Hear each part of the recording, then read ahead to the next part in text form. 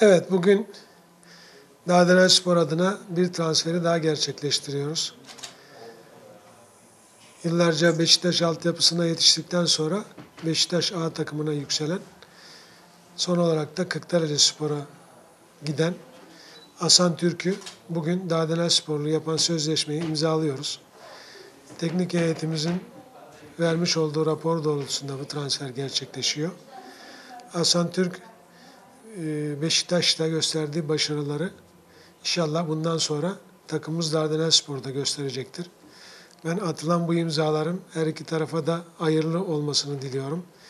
Dardanel Spor camiasını seçtiği için de kulüp başkanımız Mehmet Önen ve şahsım adına teşekkür ediyorum. Kendisinin göstereceği performans bizim için e, güzel bir referans olacaktır.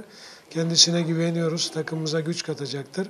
Ben yeniden hayırlı uğurlu olsun diliyorum ve başarılar diliyorum kendisine. Öncelikle hocalarıma çok teşekkür ederim bu büyük camiaya beni aldıkları için. Böyle zaten bizim bildiğimiz Beşiktaş gibi, Galatasaray gibi büyük bir camia burası Çanakkale. Herkesin bildiği gibi. Ben de burayı tercih etmenin önemli sebeplerinden biri hocalarım. Hocalarıma bu yüzden tekrar tekrar çok teşekkür ediyorum. Ee, bence Çanakkale'nin yeri burası değil. İnşallah e, bu sezon iyi yerde bitirip şampiyon olursak daha iyi yerlere taşıyacağıma inanıyorum. Ben de bunun için faydalı olursam elimden geleni yapmak için uğraşacağım. Ee, bunun için de tekrar teşekkür ederim hocalarıma. Burada, burada olduğum için de çok mutluyum şu an.